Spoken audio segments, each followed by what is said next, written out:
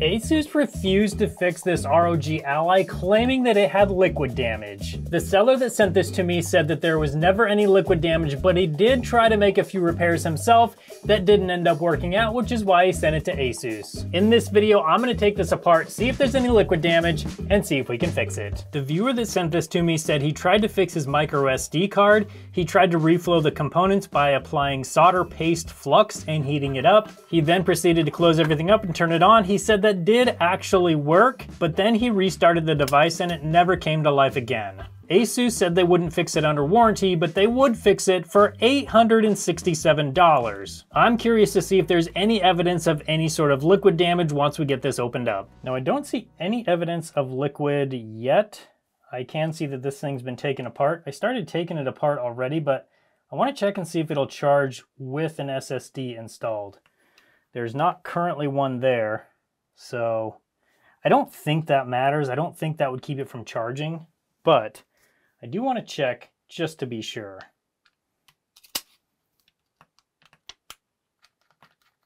Storage device installed. Now the thing with ROG Allies is you have to cover this sensor right here. This is a light sensor and that tells the system whether the back cover is off or not. So I'm going to cover this and that'll make it think the cover's on and then plug it in and see if we get a charge light. Okay, covering this. And no lights, no nothing. Doesn't power on, just nothing happens at all. It's like the battery's unplugged, which I don't think it is. No, it's not unplugged, but okay.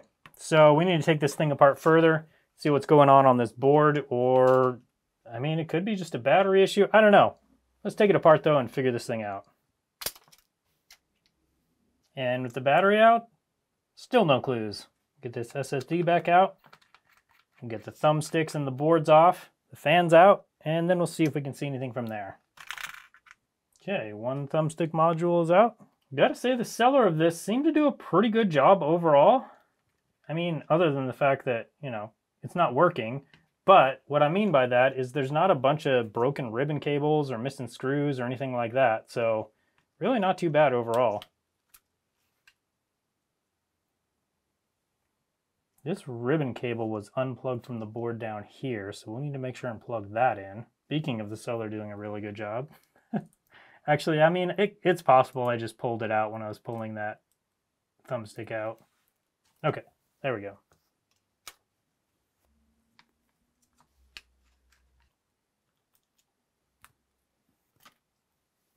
Okay, so far everything is looking just fine. I don't see any evidence of any sort of liquid damage. This is the SD card slot, so I'm guessing maybe the other side might show us something.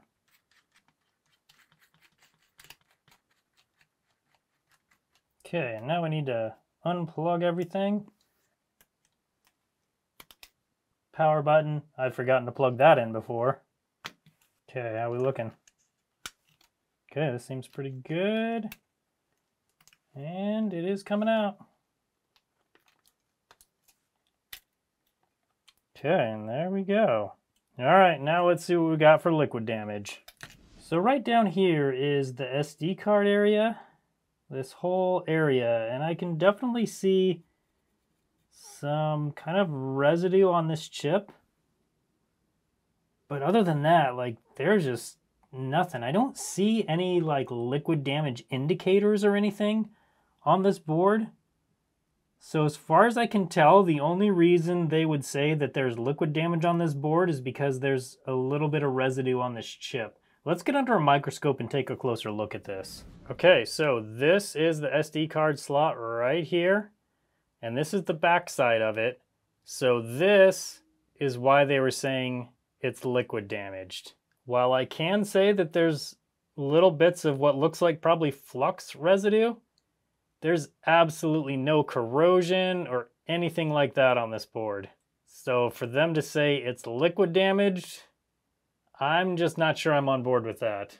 Now it is true that the person I bought this from did mess with this. He said he heated it up to reflow these components and that actually got the SD card working at least for a while. So I mean technically he did mess with the inside of it, But at the same time, I can't say that I would say this is liquid damaged. I can say there has been some liquid on the board, meaning flux, which is kind of like meant to be on boards. I mean, at least enough for to do, you know, soldering and stuff like that.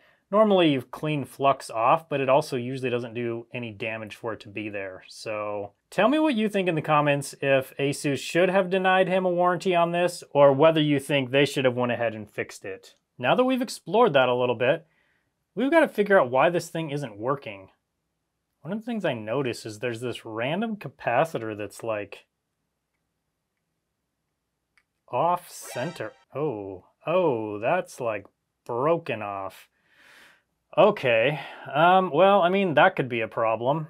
I mean, it, it also might not be, but that could definitely be an issue. So the problem is that that pad probably under there is probably torn. That being said, we need to explore that. I'm going to get a soldering iron and see if we can just resolder this guy.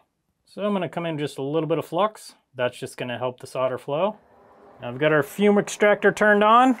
Our iron is nice and warm. Let's see if this thing will solder. So if that pad is torn, there's a good chance this isn't going to solder down correctly. Also, how did this happen? That's what I want to know. I feel like I mean, obviously something broke it off, but that's kind of strange. Yeah, that's what I was afraid of. Okay, that capacitor seems to have a broken pad on one side. So first thing we're gonna do is remove it. Try to remove it without breaking the other side pad. Now let's get some flux on that thing. Got flux on one side, but not really the other side. Not there. Close enough. All right. Now we should be able to desolder this side. Just like that. Okay, now we can see what we're working with.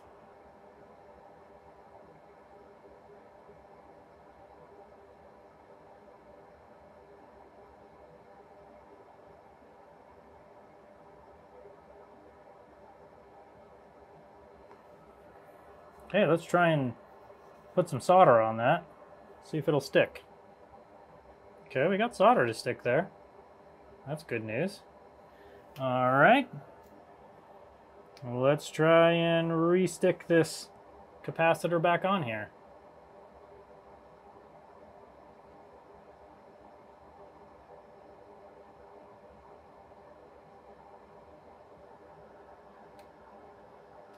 Yeah, see, there's something going on with this thing.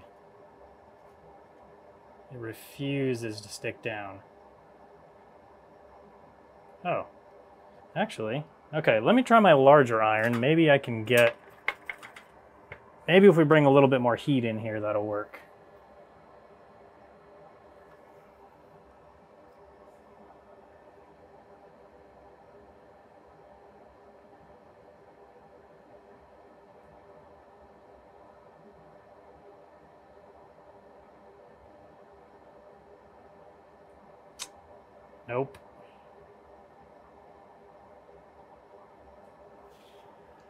Okay, so we gotta figure out what's going on with this board and why nothing's sticking. Let's bring some more flux in. Okay, that, that seems to be working fine now. Also, we gotta get the solder off of these pads that I accidentally soldered together. Let's get some get some solder wick on here. See if we can wick, wick enough of that up to get it out of there.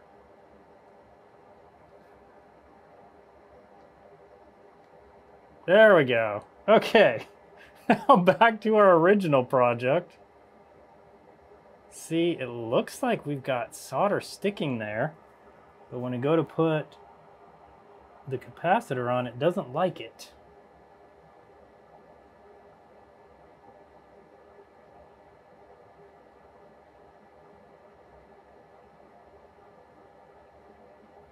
It could just have a broken capacitor too. That is always possible.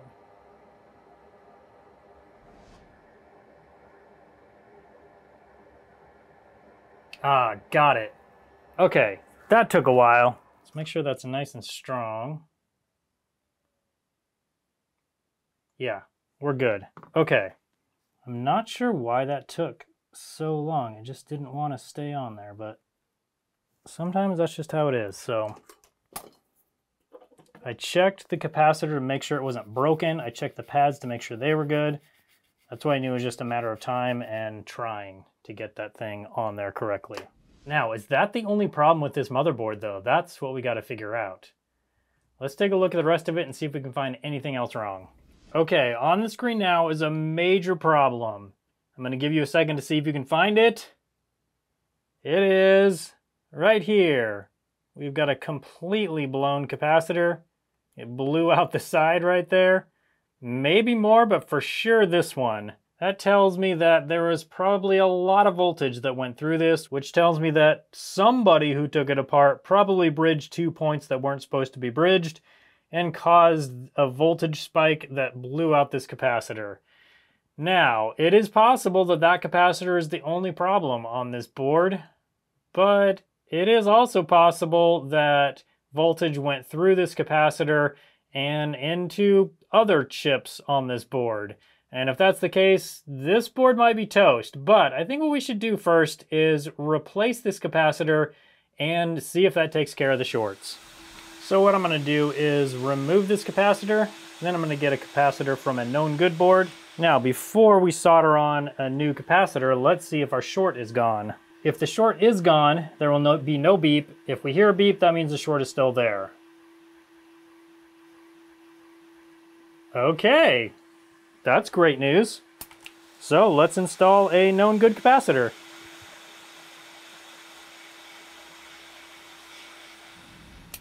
And with that capacitor replaced, let's see what happens when we put our probes on here and see if it's shorted. 320 ohms on one side and one ohm on the other side. That's about what it should be. So I feel like I haven't, I don't see any other problems on this board. So I think now is the time to put this back into the handheld and see if that's all it takes to fix this board. Okay, now we just got to get this motherboard fitted in here almost where it needs to go. It's not quite down in the slots. This ribbon cable needs to be, what are we doing here? There's a little bit of damage on that cable. I don't think it's enough to cause a problem. Okay, I'm gonna plug the power button in before I do anything else because I've forgotten that before and it really threw me off. okay, let's get a few screws in. All right, now we need to make sure all the buttons and everything are lined up and clicky. Yep, okay, everything's good. Now I just got to get the rest of these ribbon cables in and screws in, and then we can put the thumbsticks in, the fan and heat sinks, and the battery.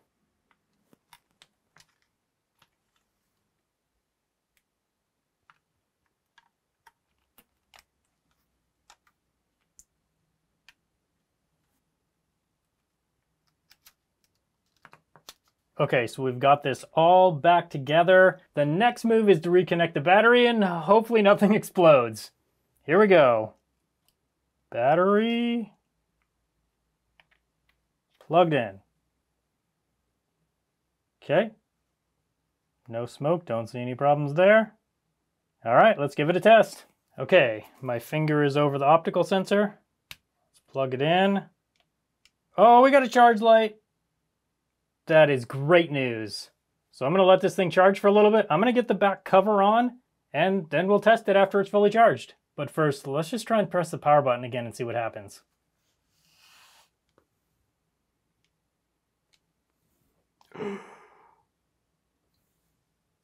It just turned on. okay, I'm still to get this fully charged. I'll put the back cover on, and then we'll test it again and make sure it all works. I can't believe that just turned on. Let's get the back cover on. There we go. Now this didn't come with the original SSD. I'm using a replacement, so I don't know. I might have to install some software onto this.